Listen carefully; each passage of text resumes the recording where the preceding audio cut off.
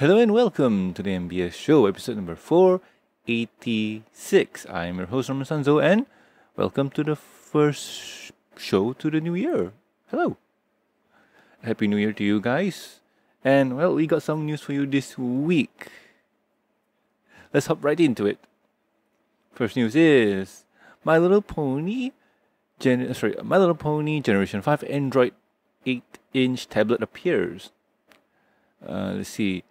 Ponyify everything is apparently the goal of this generation because Hasbro is going all out this time with full sorry um this time with a full on G5 Android tablet listed by a company called Touchmate.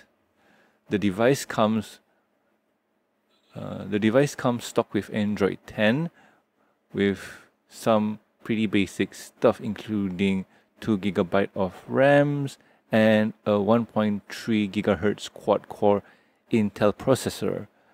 It's definitely not going to be running anything you throw at it with a pretty hefty $160 price tag. It does include a case though. Uh, find some pictures below. Alright, alright. So, one of the few things that uh, G5 is doing is pretty interesting. Um, they're putting in a lot of advertising, mm, marketing, advertising mar- stuff. Like we, in G4, we didn't really get all of this um, stuff. So let's let's take a look. See, um, the tablet itself is generic at best. It's one of those simple tablets that can do the essential. Um, surf the web, play music and whatnot. Um, judging from this one, it's just a My Little Pony skin.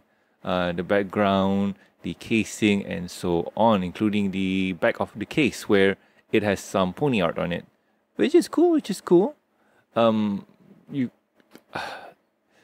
if I, I'm guessing if this doesn't have any parental control, you can use it as a normal tablet. But if there is, um, you have to kind of do stuff with it. But overall, um, this is okay. This is this is just a little Timmy or little uh, Tiny Tina's first tablet foray. Um, but judging by how days um how the days goes on now, um, kids at five already have iPads or iPhones, and we're not talking about the uh, six or seven variety. We're talking about the 12 or 13, which is scary. Oy. I only have a 8 right now, and that's from when? But, um, overall, um, little kids first tablet is cool, and yeah, um, what a good way to start if you're a kid that loves ponies and wants uh, a what you call this tablet, this is the way to go. But in all honesty, mm, better get something more robust. But let's take a look see. Let's take a look see what we have inside. Uh, mini tablet, uh, case, some accessories. Okay, uh, tablet, cover, earphone, user manual, charger, USB adapter. We got no idea if it's uh, Type C or whatnot uh, OTG cable. Um, I got no idea what that is. And a screen protector. Oh my god, the screen protector is here. Where is it? but uh, this looks like a serviceable phone. Oh, sorry, a tablet. It looks great for the price of 160. I feel like you can get better. Oh, sorry. Mm, but yeah, um, little kids first tablet, it's okay. It's serviceable. It's serviceable. Let's move on to the next one. So Russian G5 juice box marking calls the new cast means six with Sprout included.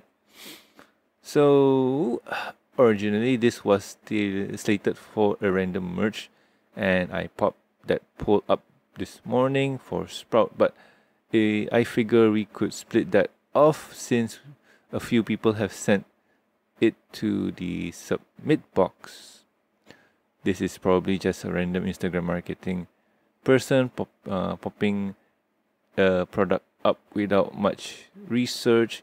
But let's spec uh, speculate. Anyway, shall we? In the description over on Instagram, they write, "Bring uh, bright packing with six main and most beloved characters of the My Little Pony universe: Hitch, Zipp, Pipp, Izzy, Sprout, and Sunny." Calling out Sprout as part of the new main six. Would this be something you all would accept for the upcoming series and specials? Is Sprout a good enough character to join the main cast? Uh, main cast as a pony we will regularly see in the future. The poll is already okay. So nothing new here. Um, it's just um, juice box with flavors. I got no idea. The Russian.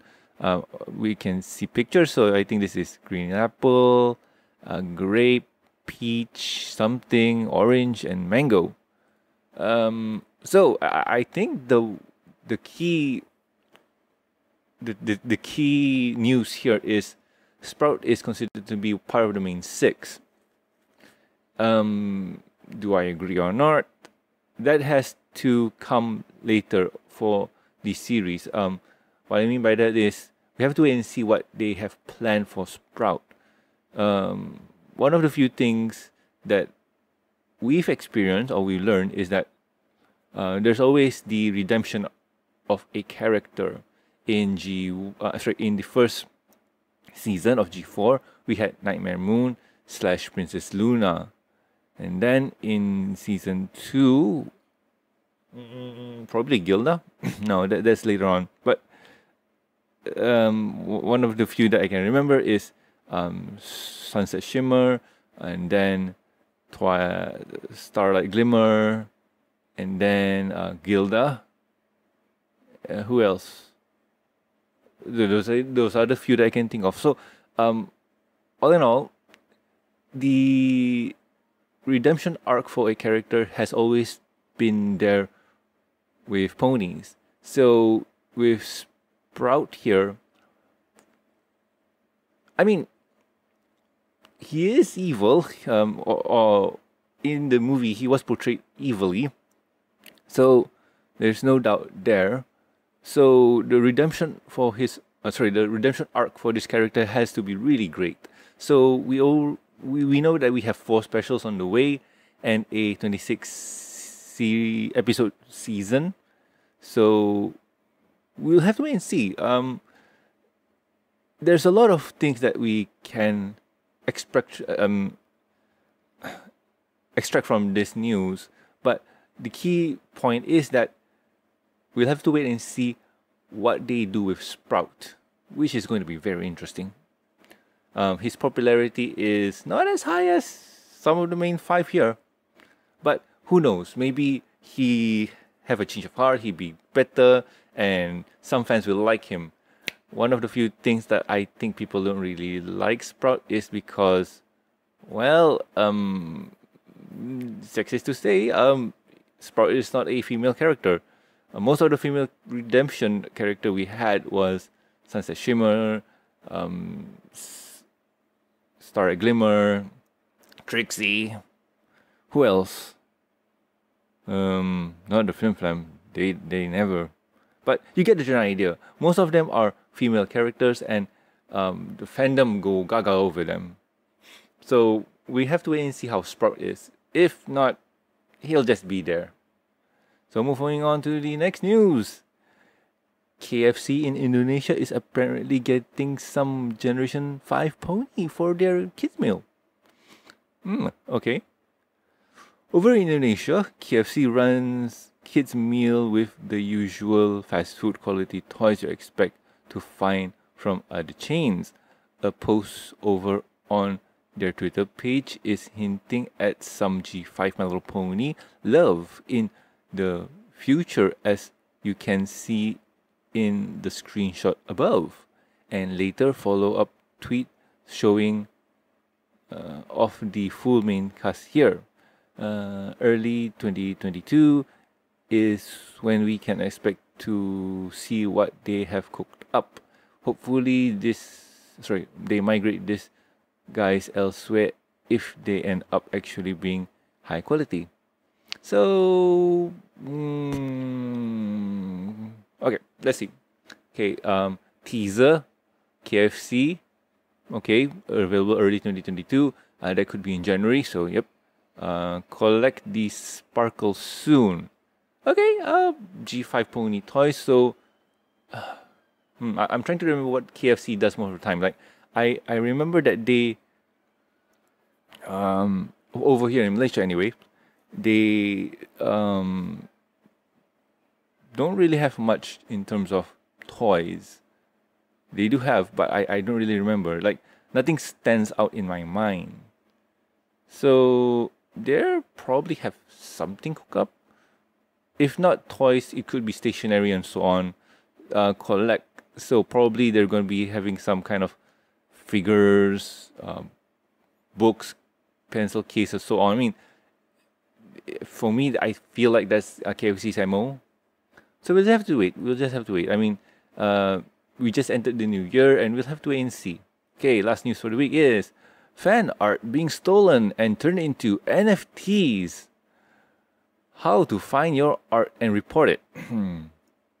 uh, with the rise of NFT, non fungible tokens, there has been an increase in art theft as of late, where unscrupulous companies are taking fan art from not only our fandom but others and my, uh, minting them into these tokens for sale.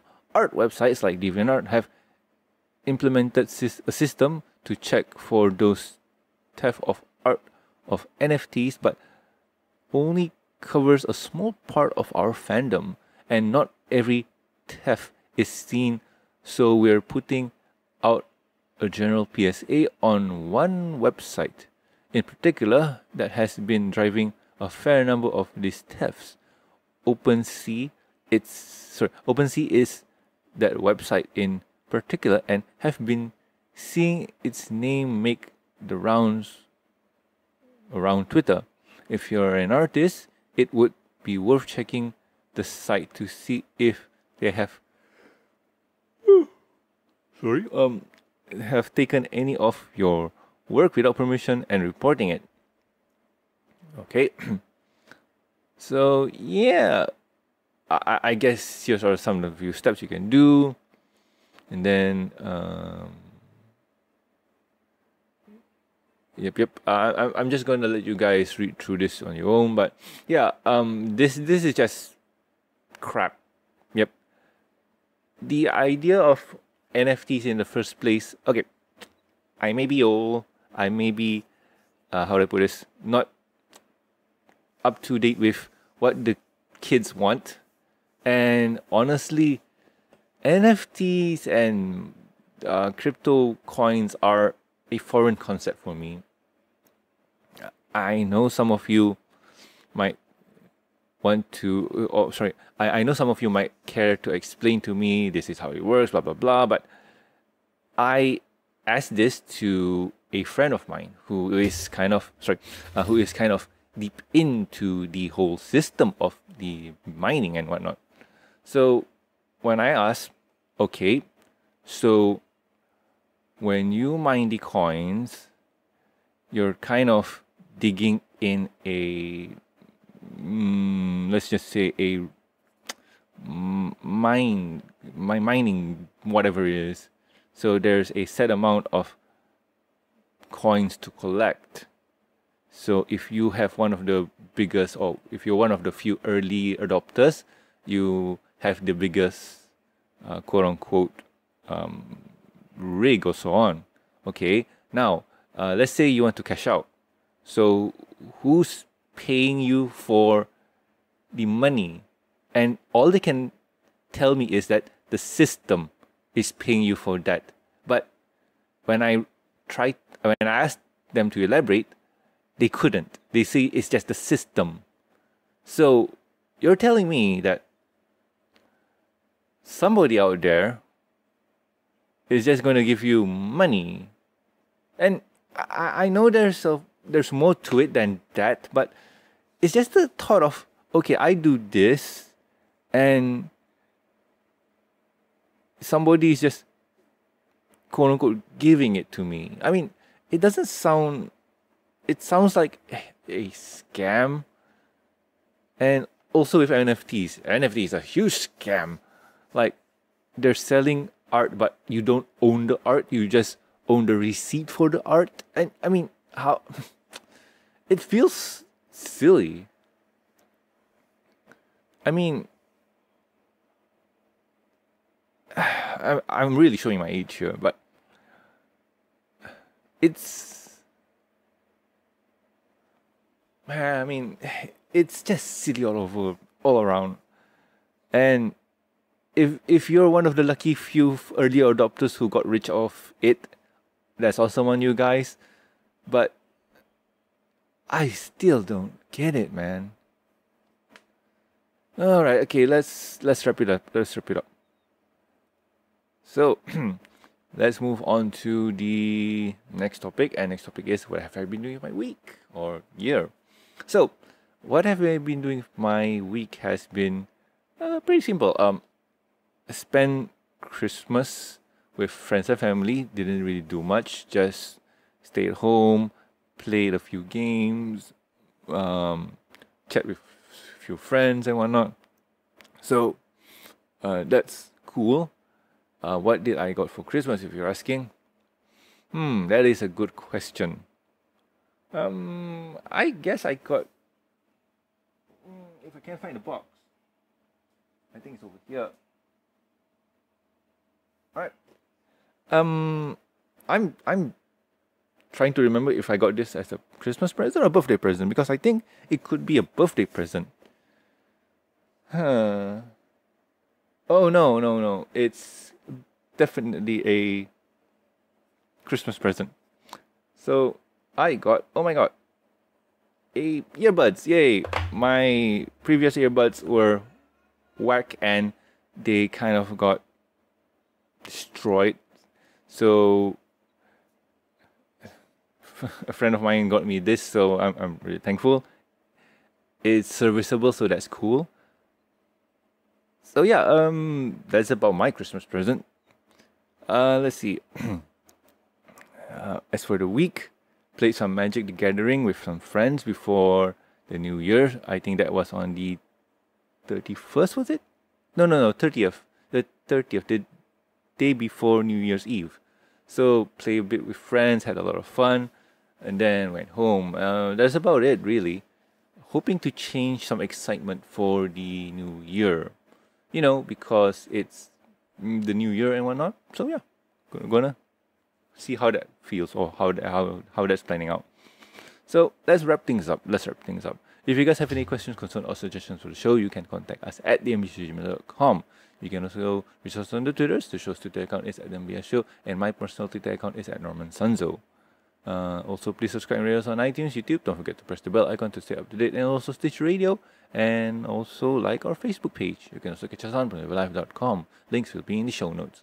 Also, do uh, subscribe and rate us on iTunes and Stitch Radio for the review and discussion podcast. Over there, you'll catch me, Totera, Silver sometimes, probably guests, reviewing the pony episodes, comics, specials, movies, and sometimes we like to do other things other than ponies. And those could be cartoons, animes, comics, mangas, movies, video games. So yeah, um, do catch out, uh, do, do subscribe to that too because it's a lot of fun. Uh, if you'd like to support the show, you can do so at patreon.com slash MBS show. With every support, you get a week's early access to review and discussion podcast, exclusive and deleted content, and a huge thank you from me. Talking about the thank yous, I would like to thank Lucky Knight, myself Lag, and also Tristan. Thank you so much, guys. You are great. And I hope you guys, everyone, I hope every one of you guys have a really awesome start to the new year. And all your resolutions come true. If you don't have any resolutions, I just hope you have a really awesome start to the new year. I know we all could use some positivity in our life. And I'm gonna try and bring some. I'm gonna bring on the thunder. Yeah! so anyway, I have been Norman Sanzo, and I'll catch you guys next week with another fun episode of an MBS show. See ya.